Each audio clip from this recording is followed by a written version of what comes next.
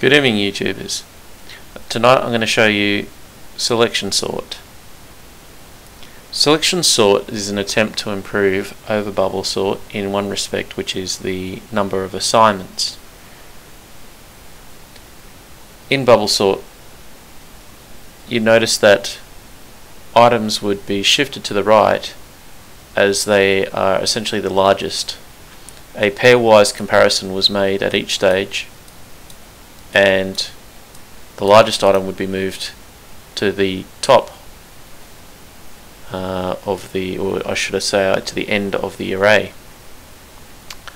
And then we would uh, decrement uh, the amount of the uh, accessible array by one, and we'd end up with a subarray, and we'd continue on so until we ended up with a completely sorted list.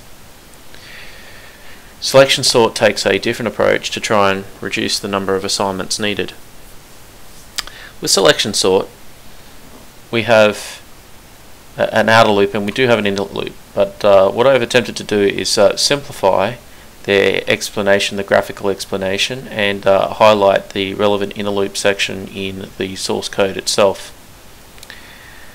So I'm going to first start off by explaining that the idea with selection sort is to take the subarray, in the initial condition the subarray will be the entire array, and look for the least or the lowest uh, figure or the, the lowest of the items in the array. In this case we've got integers so therefore it is 3 and 3 is not moved so therefore I colour the background green.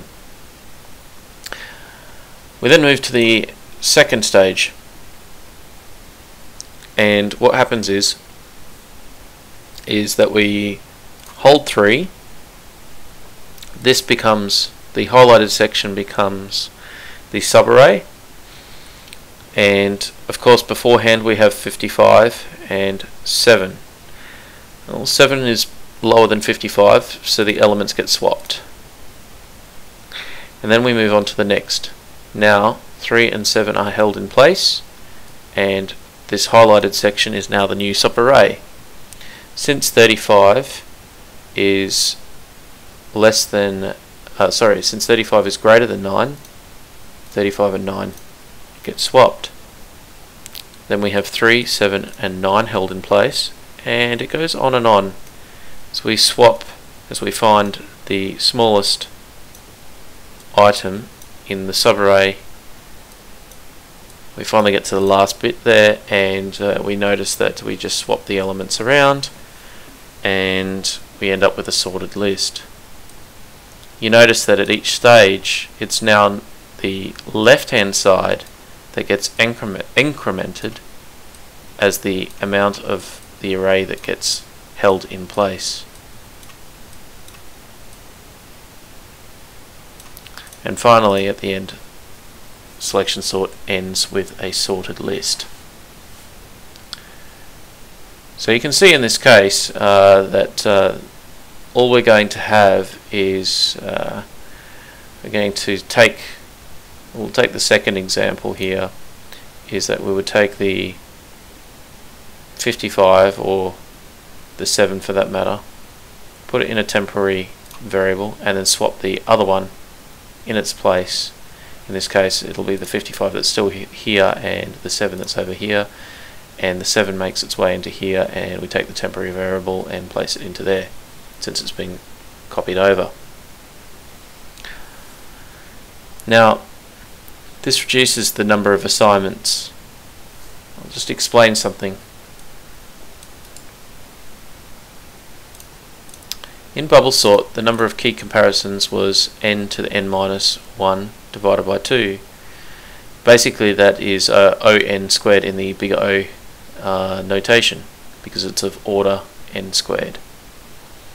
And the item assignments uh, basically an n squared but uh, divided by 4 in this case. So you can see the relationship here.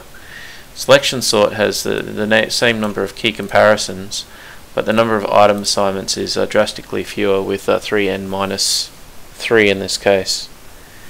So um, that's with the, this is transposed so basically 3 bracket n minus 1 close bracket equals 3n minus 3.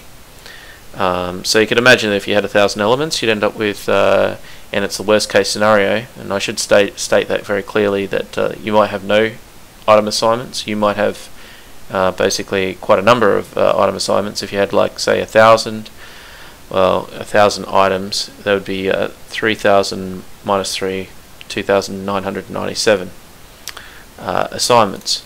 It's still quite high, the key comparisons are still quite high. I suppose the it's all relative really, the number of item assignments is lower uh, by a significant margin uh, when you compare it to say a list of 1,000 items.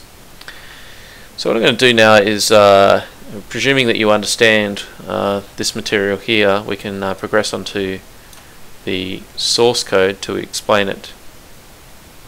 So I'm just going to bring the source code in here. If you don't understand, uh, just take a time to pause and and take a look, or perhaps even looking over the source code uh, might even help. So I'm not going to explain this because I did that in my previous video, but we have here the prototype for the selection sort. Uh, it's going to return nothing, but it does have in it a a uh, an array that of a type integer and a integer uh, here, which is going to be indicative of length of the array. Uh, we'll skip main for the time being because the real meat, uh, shall we say, in the sandwich is uh, here where we have the signature of the uh, selection sort. By the way, I should stress that this is actually C++. There are, you know, as many languages as there are out there, there are a number of e efficient uh, implementations of selection sort. So take a look at your favorite language. Uh, mine happens to be at the moment C++. anyway, um, moving on, we have a an integer for smallest and uh, basically that's the candidate smallest at each step of the way it's going to be the iteration we have here the temporary uh, variable uh, and the temporary variable is just for swapping out uh, the two uh, uh, array elements when they need to be swapped out. So as I said before um, we do have a main loop. It iterates until it gets to length minus 1 we don't want to go out of bounds on the array. Uh, so this is kind of important.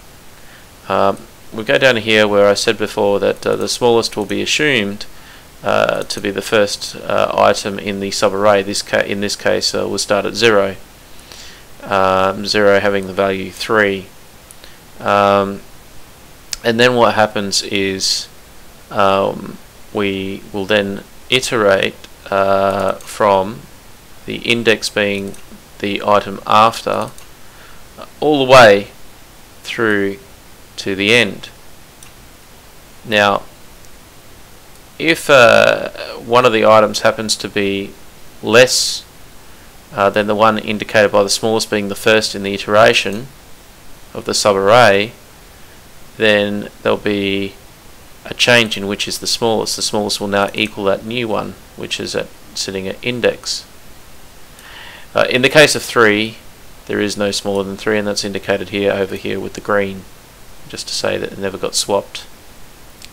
In the next however we can see that 55 and 7 uh, well 55 is not the smallest, 7 is the next smallest out of the subarray after we've ventured to iteration equals 1 so therefore once we get to uh, where the 7, once we iterate through in this small inner loop to where the 7 lies, uh, the element where 7 lies, uh, which is the second last one in this case, um, being the um, uh, the eighth element, um, starting from 0 up to 8, 0, 1, 2, 3, 4, 5, 6, 7, 8, you then see that they need to swap, and so therefore the smallest uh, becomes the index and then we go on to saying that the temp will take the value of the iteration that is the 55 sorry that's highlighting both. It's because there's a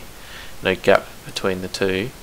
Um, this and then the iteration becomes the new smallest one which is 7 and then uh, the position of smallest then takes on the value of the iteration which was uh, taken for temp and that would be 55 and they swap out as you can see here. Now that goes on until the iteration equals length minus 1. Again, we don't want to go out of bounds and we have a 0 um, anchored array. Uh, the elements start at 0, they're counted from 0. So um, the uh, in this case the ninth uh, the ninth element um, which beginning from 0 is really in normal English parlance is the 10th uh, element and uh, again we could um, we continue on anyway. Uh, in this case we can't early terminate because of no swap. Like I said before there was no swap here so there's no opportunity for early termination. We'd end up with an unsorted array.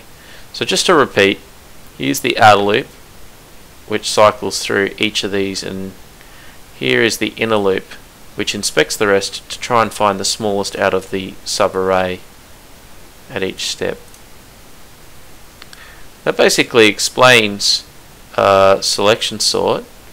I'm just going to close this window now and just explain to you again why the number of item assignments is less. When uh, I look at my textbook, they don't explain this too well. I'm not going to incriminate the textbook, perhaps I will in a future video, but uh, I won't do that right now. But there are three parts to this. We have the temp, we have the candidate smallest, and then we have the identified smallest, essentially. So the temporary just being uh, the uh, the uh, item that takes, for example, the identified smallest, and then there's the swap, and then you place the value back back in, like we saw in the source code before. Well, in this case, um, there are n minus one uh, inspections. Uh, well, there's the n to n minus one key comparisons, but in each case, uh, at each step of the way, the number of uh, item assignments is three because we're going to place um, the variables that need to be swapped around into these here. And what then happens is there are n minus 1 at each stage. So essentially you get 3 times n minus 1 let me reiterate if I haven't explained that as carefully as I possibly could the number of key comparisons doesn't change but in each step you're going to have three every time there is a new assignment there are three assignments that need to be done. Every time there's a swap okay there are three things that need to be dealt with there. And since um, since we uh, you know always looking at one element less it's really n minus 1 and so you get n minus 1 in brackets times 3 so I suggest to you to create to understand this completely is to create a worst case scenario with a small number of elements maybe five elements and sit there and try and work out the number of changes that need to occur and then multiply that by 3 and you'll realize that it is indeed 3 bracket n minus 1. Anyway, I hope you enjoyed this video. Um, if you did, please uh, like, subscribe and comment below.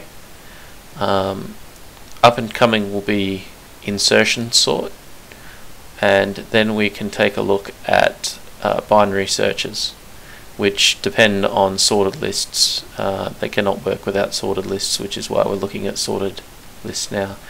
Uh, as I said, uh, I'm learning this as I uh, as I video this. I'm learning it as well. So it's usually like the day after when I've learned something and coded it up that I explain it. So you you know you might see some slight errors in expl explanations. Again, uh, the value add in that is please put your comments below if there are any corrections that need to be made so you can discuss them. Anyway, again, as I say, please like and subscribe uh, and comment below. I hope you have a good night, good day, or whatever you're having, and see you next time.